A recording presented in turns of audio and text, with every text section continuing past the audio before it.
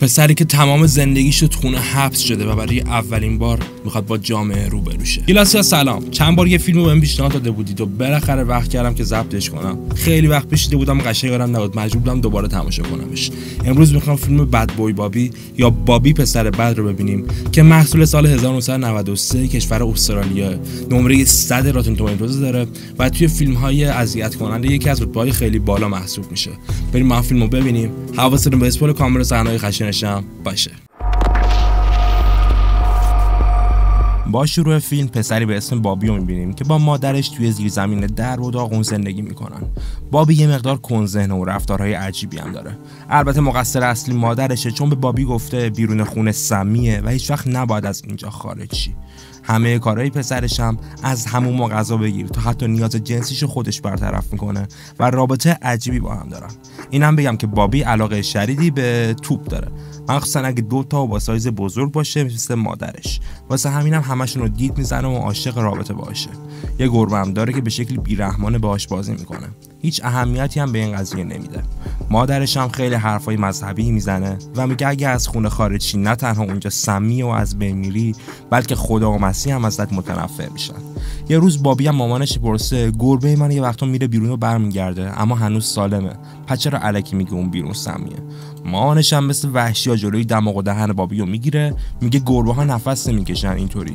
خلاصه که خیلی این پسر تو خونه آسیب می‌بینه و حتی یه بار مثل روانی ها دور گربهش رو تلفن می‌کشه تا مطمئن شه که نفس می‌کشه یا نه. یا خب بعد این قضیه دیگه نمی‌کشه. وسط همین کارم یه نفر در می‌زنه و بابی برای اولین بار با کسی غیر از مادرش صحبت می‌کنه. خیلی هم ترسیده و از کنجکاوی هرچی اون مرد میگه رو خودش تکرار می‌کنه. مادرش هم سر می‌رسه و می‌فهمیم این مرد پدر واقعی بابیه. کسی که 35 سال پیش همسرش رو تنها گذاشت و تازه فهمیده که یه بچه انقدری هم داره. پدر بابی یک کشچه کلیسا. پدر کلی معذرت می‌خواد و این وسط رفتارهای عجیب بابی هم و نهیز بازیاش با مادرش رو نگاه می‌کنه و هنوز هیچی نشده از اون متنفر میشه. همین هم شروع رابطه پدر و مادر بابی با همه. البته که بابی خیلی حسادت می‌کنه و وقتی یواشکی رابطه شب این دو نفر می‌بینه روز بعدی همه ظاهر و رفتارش شبیه پدرش می‌کنه تا مادر رو تحت تاثیر قرار بده. هی میره سمتش بهش دست می‌زنه که یهو پدر سر می‌رسه و با عصبانیت بابی رو از خونه میندازه بیرون. این پسر که خیلی هم تحصیل و فکر می‌کنه الان خفه میشه به زور یه ماسک روی صورتش می‌ذاره و همونجا از حال میره. پدر مادر بیرحمش هم موقع که می‌خوام برم برای عشق و حال بیرون بی توجه به حال پسر از روش رد میشن. اینو که بابی می‌بینه متوجه میشه هوای بیرون سمی نیست چون پدر و مادرش بدون ماسک خونه خارج شدن. خیلی عصبی و برمیگرده داخل تا همه چی رو به هم بریزه. ساعتی بعد پدر و مادرش که حسابی مستن برمیگردن خونه و از حال میرن. بابی که حقیقت رو فهمیده و عصبانیه با یه بسته سلفون میاد و هر دوشون رو به شکل وحشتناکی تو همون حال خفه می‌کنه بعدم می‌خواد برای همیشه از خونه بره. اما خب باز میترسه و ماسک می‌زنه. بیرون از خونه هم برای اولین بار دنیای واقعی رو می‌بینه و اصلا چیز قشنگی نیست. چند تا پسر با ماشین سر می‌رسن و شروع می‌کنن به مسخره کردن ظاهر و ماسک بابی. اونم میترسه و برمیگرده خونه اما انگار این اتفاق یکم به هیجان آوردتش. برای همینم این بار لباسه و لوازمش رو جمع می‌کنه و با چمدون برای همیشه از خونه میره. اینم فهمیده که هیچی رو خیابون ماسک نداره و با ظاهر عادی ماجراجویی شروع میشه. اما شهر اونقدری که فکر می‌کرد قشنگ نیست. اول از همه زنی رو می‌بینه که با وحشت از خونه فرار کرده و دنبال پلیسه. بعد چند تا دزدی مجرمه مختلف و همه چی رو مشاهده می‌کنه. بیشتر میچرخه و به یه گروه می‌رسه که دارن یه آهنگ کورال تو خیابون می‌خونن. با کنجکاوی میره جلو و بدن یکی از زنای گروه شبیه مادرشه. بدون فکر به هیچی هم شروع به دست زدن به اون می‌کنه. و اونا که می‌فهمن بابی یه مقدار مشکل ذهنی داره زیاد جدی نمیگیرنش. به جاش اونو با خودشون به یه رستوران می‌برن تا یکم خوش بگذرونن. بابی اولین بارشه که تو جامعه قرار گرفته و با لذت همه چی رو تجربه می‌کنه. حتی بعد کلی غذا و مشروب با همون زنی که بهش دست زده بود به خونه میرن و رابطه برقرار می‌کنن. از روز بعدی ماجراجویی بیشتر ادامه داره و بدون توجه به قضاوت مردم هر کاری می‌خواد و انجام میده. البته که یه جا داره با یه پسر بازی می‌کنه و بقیه با عصبانیت میزنش بیرون چون درست نیست که یه غریبه با هر کی می‌خواد بازی کنه. یه بارم که سگ می‌بینه و بعد سر و صدای حیوان میترسه رفتارش رو از سگ یاد می‌گیره. وقتی یه نفر دیگه می‌خواد باهاش صحبت کنه و دعواش کنه همونطوری مثل سگ صدا در میاره و باعث ترسیدن و رفتن طرف میشه. در کل بابی انگار تازه به دنیا اومده و با تقلید از بقیه خودشو داره از نو می‌سازه. رفقا اگه تا اینجا خوشتون اومده لطفا ویدیو رو لایک کنید. توی رستوران هم زنی سمتش میاد و وقتی متوجه کن ذهنی بابی میشه اونو سوار ماشین می‌کنه. اما این دوستیشون دوامی نمیاره. چون پشت چراغ قرمز بابی یهو شروع می‌کنه به فوش دادن به مامور پلیس. فوشایی رو میده که همون بار اول پسرای جوون به خودش داده بودن. همینم باعث میشه زن از ماشین برزتش بیرون و راهش رو پیش بگیره. راننده ماشین عقبی پیاده میشه و چون دلش برای بابی سوخته اونو سوار می‌کنه. یه گروه موسیقی تو این ماشینن و دارن به محل اجرای بعدیشون میرن. با خوشرویی از بابی استقبال می‌کنن و کلی با هم رفیق میشن. حتی اونو به محل اجراشون می‌برن و می‌فهمیم خیلی گروه تازه کاری و حتی یه طرفدارم نیومده اینجا. ساعتی بعد با ناراحتی کنار هم نشستن و بابی توی روزنامه عکس پدر و مادرش رو می‌بینه. پلیسا پیداشون کردن و فهمیدن همه چیز کار بابیه. حتی به اون لقب قاتل تلفنی دادن. بقیه اعضای گروه موسیقی هم اینو می‌فهمند و با توجه به اینکه 50 هزار دلار جایزه برای پیدا کردن بابی در نظر گرفته شده بازم اونو لو نمیدنش چون خیلی ازش خوششون اومده و می‌خوان ازش محافظت کنن. خلاصه که بعد این قضیه رفاقتشون بیشتر میشه و حتی یه آهنگ در وصف بابی می‌نویسن. و اسمشو می‌ذارن بابی پسر بد یا بد بوی بابی. بابی هم با ذوق به اجراشون گوش میده. بعدم اونو پیش یکی دیگه از دوستاشون می‌برن تا سر و وضع این پسر رو عوض کنه و پلیسا پیداش نکنن. چند روز بعد می‌بینیم که بابی و این دوستشون با ظاهر خیلی شیک و خفن به یه رستوران میرن. بابی دوباره نگاهش به زنی میفته که ظاهر شبیه مادرشه و خب چشمش اونو می‌گیره. انقدر بهش اصرار می‌کنه که زن از رستوران فرار می‌کنه و بابی تو کوچه کناری به زور می‌خواد بدنش رو لمس کنه. خب از قانون بیخبره و همین کارش باعث میشه پلیسا بگیرنش و بندازنش زندان. بعدم به خاطر کمبود جا اونو به سلول دیگه انتقال میدن که یه مرد برهنه هم سلولیشه. مردی که با بیرحمی تمام بابیو میندازه روی تخت و کاری که نباید باهاش انجام میده. بالاخره با رئیس زدان ملاقات داره و خب به خاطر رفتارهای عجیب و کند ذهنیش پلیسا تصمیم می‌گیرن ولش کنن چون اصلا حوصله رسانه ها و داستاناشون رو ندارن. حالا بابی آزاد شده و سرای را کلیسا میشنوه و به سمتش میره. این صدا واسه یه مرده که داره توی کلیسا ساز ارگان می‌زنه. همین که نگاه بابی به مسیح و انجیل میفته شروع به فریاد کشیدن می‌کنه و میگه مسیح از من متنفر و می‌خواد بزنه تو سرم. نوازنده میاد سمتش و بعد اینکه آرومش می‌کنه اونو با خودش می‌بره بیرون. سکانس بعد می‌بینیم که توی کارخونه وایسادن و این نوازنده یکی از دانشمندهای بزرگی که اینجا کار می‌کنه. به بابی میگه چیزهایی که از دین و خدا می‌دونی اشتباهن. اینطوری بهش فکر کن که ما اصلا زنده نیستیم. فقط به خاطر طوری اتم هامون کنار هم نشستن وجود داریم. پس یعنی وقتی از دنیا بریم هم حذف نمیشیم و اتم همون شکل دیگه به خودشون می‌گیرن. پس بهشت و جهنم و خدا ممکنه علکی باشن. من تو اون کلیسا فقط نوازندگی می‌کنم چون موسیقی رو دوست دارم. همه آدم ها باید مسئولیت کامل کارهاشون رو به عهده بگیرن و انقدر از خدا توقع نداشته باشن که خوبشون کنه یا ببخشدشون تو هم اشتباه تمینه. نباید همه رو گردن مسیح یا خدا بندازی. ما به خاطر اتم های خودمون زنده ایم نه اونا. پس باید همین اتم هامون ما رو قضاوت کنن و خودمون مسئول همه چیزیم. حرفاش مهمن اما بابی کن ذهنه. از کارخونه خارج میشه و بی توجه بهش یه زن دیگر رو شبیه مادرش می‌بینه و شروع به بازی با بدن این می‌کنن این بار این زن و دوستاش بابی رو میندازن زمین و تا می‌خوره کتکش می‌زنن. دنیای واقعی تا الان براش خیلی کسب و وحشتناک بوده. همینطوری که سرگردون میچرخه اتفاقی به خونه خودشون می‌رسه. وقتی میره داخل و روی زمین کادر سفید پلیس تو صحنه جرم می‌بینه تازه می‌فهمه دیگه مادرش از بین رفته و قرار نیست که چیزی درست بشه. میفته زمین و تا نفس داره زار می‌زنه. برم که فهمیده این قسمت زندگیش تموم شده تصمیم می‌گیره برگرده تو شهر اما با یه تغییر. این بار لباسای پدرش رو میپوشه و خودش شبیه اونجا می‌زنه. پدری که فقط چند روز توی زندگیش ندیده بود. با رفتارهای شبیهش به یه رستوران میره و پیتزا سفارش میده. بعدم که میاد بیرون یه گربه ولگرد می‌بینه و خب بالاخره خوشحال میشه. خیلی این گربه رو دوست داره و انگار مثل بچه می‌خواد ازش مراقبت کنه. بعدم تو شهر کم میچرخه و با دیدن پیرمردی که دم یک club وایستاده هرچی پول داره بهش میده و اونم برای قدردانی میبرتش داخل این club. البته یه دلیل دیگه هم لباسیه که خودش پوشیده چون لباس کشیش های کلیساست و همه بهش دارن احترام می‌ذارن. بابی خیلی خوشحال میشه چون اون گروه موسیقی هم همینجا اجرا دارن و با کلی داد و فریاد میره طرفشون. اونا با استقبال میارنش روی سن و حتی یه میکروفون جلوش می‌ذارن. مردم که هیچ توجهی به این گروه نداشتن حالا با کنجکاوی بابی رو نگاه می‌کنن که شروع کرده به خوندن.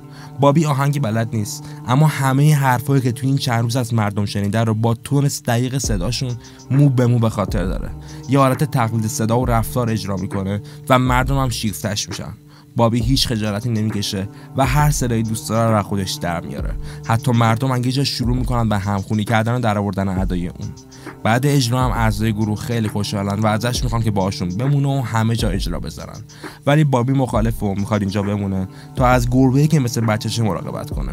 گفتم که بابی داره ادای پدرش رو در میاره و می‌خواد کاری که همیشه دوستش پدرش انجام بده حالا خودش انجام بده. یعنی مراقبت از بچهش. بعد ازشون یکم غذا می‌گیره تا برای گربش بیاره و همین که بهش می‌رسه از عصبانیت خشکش می‌زنه. چند تا پسر روانی اونجا رو با وحشیگری جون این گربه رو گرفتن. فقط هم برای تفریحشون. بابی خیلی ناراحت و شهر رو قدم می‌زنه و یه گوشه خوابش می‌بره صبح بعدی که چشماشو باز می‌کنه یه دختر ناتوان روی ویلچر جلوشه که پرستارش اونو برای گشت و گذار آورده. دختر شروع به حرف زدن می‌کنه. اما خب به خاطر مشکلش کلمه درستی نمی‌گفت فقط یه سری صدا در میاره. پرستار بابی میگه توجه نکن. اما جالبه که بابی همه حرفای دختر رو فهمیده و به پرستار میگه اون بهم گفت اسم تو انجله. انجل هم شگفت زده میشه و بابی رو پیش پرستارهای دیگه می‌بره و بهشون میگه چه قابلیت عجیبی داره. اینطوری می‌تونن ازش برای درمان بیمارها استفاده کنن. بابی اول نمی‌خواد کمک کنه اما انجل قانعش می‌کنه. اونم با در آوردن پیرنش منشون دارن چیزی که بابی خیلی مشتاقشه خب هیکلش هم شبیه مادر بابی و این هم یه دلیل دیگه به خاطر علاقه این مرد به انجل میشه. خلاصی که بابی ادایی که از پدرش در می آورده کنار می‌ذاره و دوباره خودش میشه. هم به انجل کمک می‌کنه و هم با اون گروه موسیقی هر از گاهی اجرا می‌ذارن. اجراهاشون هم پر شده از طرفدارهای مختلف و حسابی دارن میتره کنن یه شب بعد اجرا دو تا طرفدار میان پیشش تا باهاش رابطه داشته باشن. اما بابی با ملی فرستادشون بیرون. بهشون هم میگه دلیلش اینه که مال شما شبیه مال مامانم نیست. خدا. هر روز بعدی می‌فهمیم بابی خیلی به انجل علاقه داره و اصلا یکی از دلایل اصلی بیتوجهیش بقیه دخترها هم همین زنه. حتی اونو به یکی از اجراها دعوت می‌کنه و روی سن جلوی همه بهش دست می‌زنه و اونم با لبخند جوابشو میده. یه اتفاق عجیب دیگه هم اینه که اون دختر بیماری که انجل ازش مراقبت می‌کردم عاشق بابی شده ولی اون پسش می‌زنه و دختر می‌زنه زیر گریه. رابطه انجل و بابی جدی تر شده و یه روز اونو دعوت می‌کنه تا پدر و مادرش رو ببینه. برای شام به خونش میرن و اول همه چیز عادیه. پدر و مادر انجل به شدت مذهبی و اهل انجیلن. دقیقا شبیه مادر بابی. اما رفتارشون هی بدتر میشه مخصوصا نسبت دخترشون انجل. مادر شروع به تحقیر انجل به خاطر وضعش می‌کنه و میگه تو خیلی چاقی آدمای چاق حال به هم زنن و خدا ازشون متنفره. یهو بابی عصبانی میشه و میگه پم منم از خدا متنفرم. اگه واقعا اینطوریه همین الان منو با این رد و برق حذفم کن. اگه وجود داری این کارو کن. ولی خب اتفاقی نمیافته. بابی از خونه خارج میشه. یه بسته تلفن پیدا می‌کنه و بدون که چیزی رو ببینیم می‌فهمیم کاری که با خانواده خودش کرده با پدر و مادر انجل هم انجام میده. این دخترم هیچ مخالفتی نداره و حتی ممنون بابیه. بهش میگه اونا بعد زودتر از اینا می‌رفتن. اینجاست که توی سکانس عجیب صحبت بابی با این مرد ناشناس رو می‌بینیم. شاید تو واقعیت شاید توی رویا. اما این مرد به بابی میگه دین ها مخالف گرفتن جون دیگرانن. اما خب خودشون هم یه وقتایی مجبور می‌شدن این کارو بکنن. تو هم شاید مجبور بودی تا الان جون یه سریا رو بگیری که آدم خوبی هم نبودن. اما از الان باید بیشتر به این قضیه اهمیت بدی. یه اجرای دیگه از بابی هم می‌بینیم که این بار همه اعضای تیمشون به خاطر آهنگ پسر بد بابی دور صورتشون سلفون کشیدن و یه اجرای بی‌نظیر دیگه هم دارن. آهنگایی که بابی بر اساس زندگی خورش نوشته و با همون رفتارهای مسخره هم همراهن. اجرا خوب پیش میره و آخرش هم بابی و احاد شده با طرفداراش می‌بینیم. انجل هم درست نشسته و میریم به مدت ها بعد. انجل از بابی بچه دار شده. یه خونه با هم گرفتن کنار بچه هاشون زندگی عادی رو شروع کردن. بابی رفتارهاش عادی تر شده و انگار یاد گرفته توی اجتماع خودش رو جا کنه.